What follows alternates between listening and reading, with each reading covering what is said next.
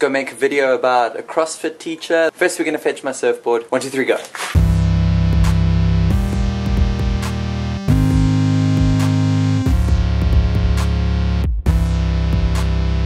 Today we're meeting up with William Brown, a CrossFit and yoga teacher at Eden on the Bay in Blouberg.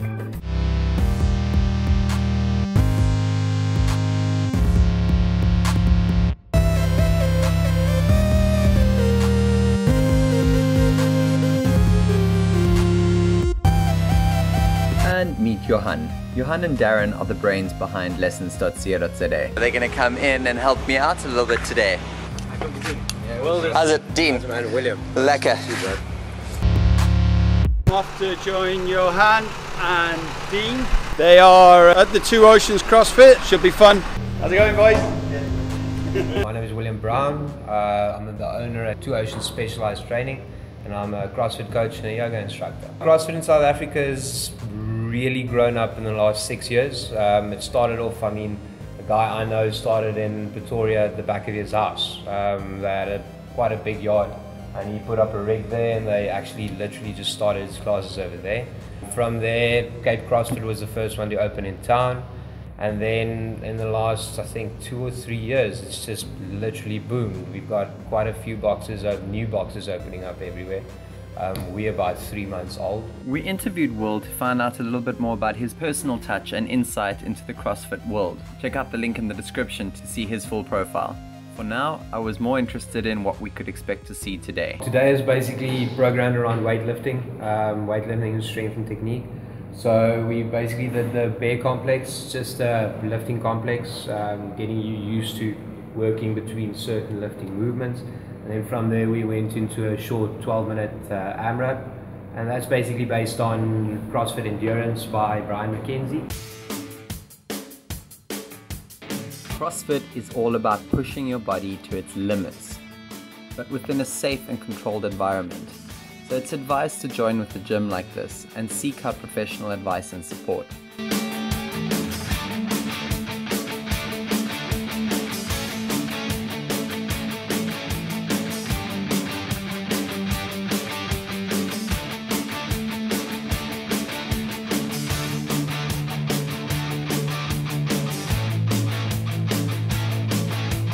Soon time to put the lessons duo up for a round of CrossFit 101. People in life feel like they can't start something new. So they might watch this video and they feel like, oh, look what those guys are doing, but uh, I can't do that. What can you tell me that makes anybody go, you know what, I can go and do that? Well, everybody has to start somewhere. You need a starting point and you need to push through that initial two or three weeks of suffering, two, two or three weeks of pain, and to get to your end result. Um, there's this whole stigma created around fitness, and this is all the fault of all the fitness magazines and all the beauty magazines. Everybody thinks that it's a quick eight minute a day uh, fix to look like the cover model, where it's not. If you want to get to where you need to be, if you want to look the way you want to look, if you want to be the best surfer you want to be, if you want to be the best kite surfer you want to be, if you just want to play around with your kids and lose 10 kgs, you're not gonna. It's not just gonna happen, and your gym membership isn't gonna isn't gonna make it happen. You need to put in work. So for people that that feel intimidated, it is scary, and it's it, it sucks the first two weeks and three weeks. I'm, I'm honest about it.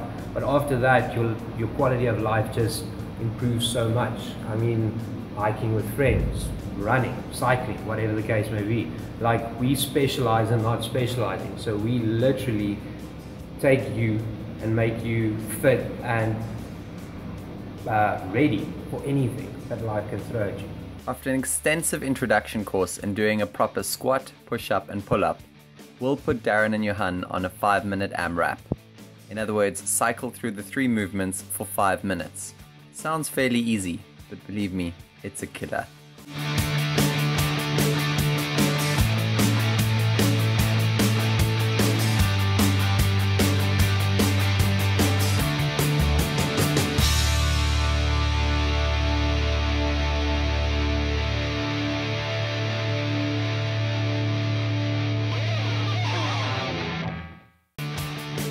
This was about two minutes into the exercise.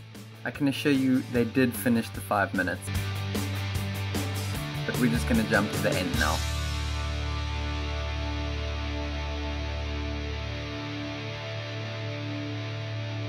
You don't realise how unfit you are until you try it.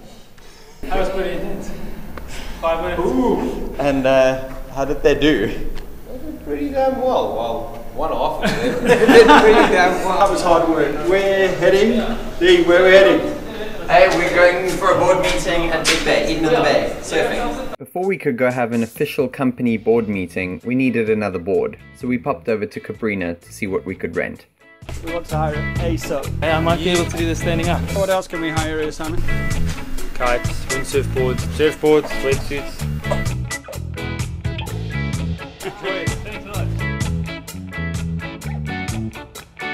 That's Darren being a SUP instructor.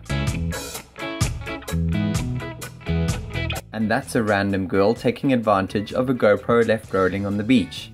Good for you. Now on to business. We kept our meeting's content short so that we could discuss it between sets.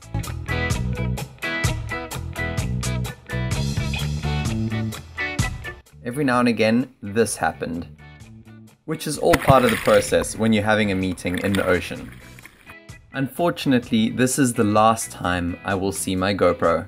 See that one attached to my board's nose? Yep, that one got knocked off, and with it went a whole bunch of time lapses and footage of actual surfing. Eventually, the waves got in the way of the meeting, so we decided to finish it up at a coffee shop.